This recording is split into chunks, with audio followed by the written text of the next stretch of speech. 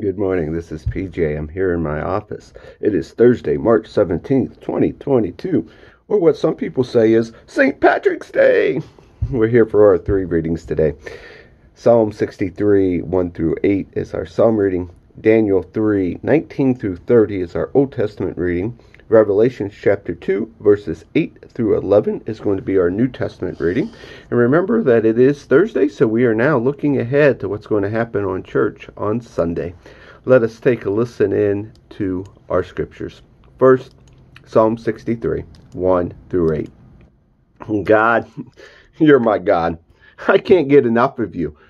I've worked up such a hunger and thirst for God traveling across dry and weary deserts. So here I am in the place of worship, eyes open, drinking in your strength and glory, in your generous love.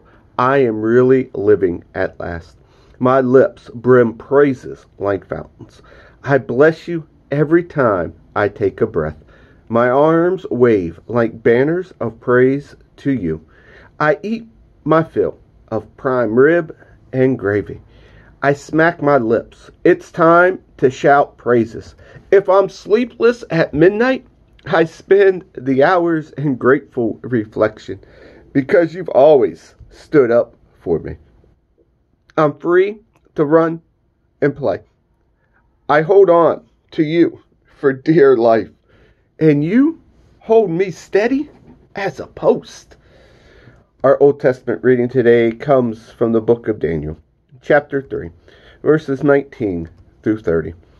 Nebuchadnezzar, his face purple with anger, cut off Shadrach, Meshach, and Abednego. He ordered the furnace fired up seven times hotter than usual. He ordered some strong men from the army to tie them up, hands and feet, and to throw them into the roaring furnace. Shadrach, Shadrach Meshach, and Abednego, bound hand, and foot, fully dressed from head to toe, were pitched in to the roaring fire. Because the king was in such a hurry, and the furnace was so hot, flames from the furnace killed the men who carried Shadrach, Meshach, and Abednego to it, while the fire raged around. Shadrach, Meshach, and Abednego. Suddenly, King Nebuchadnezzar jumped up in alarm and said, Did we throw three men bound hand and feet into the fire? That's right, O king, they said. But look, he said, I see four men walking around freely in the fire, completely unharmed. And the fourth man looks like a son of the gods. Nebuchadnezzar went to the door of the roaring furnace and called in, Shadrach, Meshach, Abednego, servants of the high God, come out here. Shadrach, Meshach, and Abednego walked out of the fire. All the important people, the government leaders, the king's counselors, gathered around and they kind of examined them and discovered that the fire hadn't so much touched the three men. Not a hair singed, not a scorch mark on their clothes not even a smell of the fire on them. Nebuchadnezzar said, Blessed be the God of Shadrach, Meshach, and Abednego. He sent his angels and rescued his servants and trusted in him.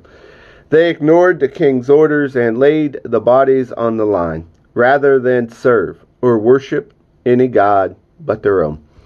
Therefore, I issue this decree anyone, anywhere, of any race, color, or creed who says anything against the God of Shadrach, Meshach, and Abednego will be ripped to pieces, limb from limb, and their houses torn down. There has never been a God who can pull off a rescue like this. Then the king promoted Shadrach, Meshach, and Abednego in the province of Babylon. Our New Testament reading today comes from the book of Revelations, chapter 2, verses 8 and 11. Write this to Smyrna, to the angel of the church, the beginning and the ending, the first and the final one, the once dead and then come alive, speaks. I can see your pain and poverty, constant pain, dire poverty. But I also see your wealth, and I hear the lie and the claims of those who pretend to be good Jews, who in fact belong to Satan's crowd. Fear nothing in the things you're about to suffer, but stay on guard. Fear nothing. The devil is about to throw you in jail for a time of testing. Ten days. It won't last forever. Don't quit, even if it costs you your life. Stay there believing. I have a life crown size ready for you. Are your ears awake? Listen. Listen to the wind words, the Spirit blowing through the churches. Christ's conquerors are safe from devil death. And here ends our readings for the day. Have a beautiful day.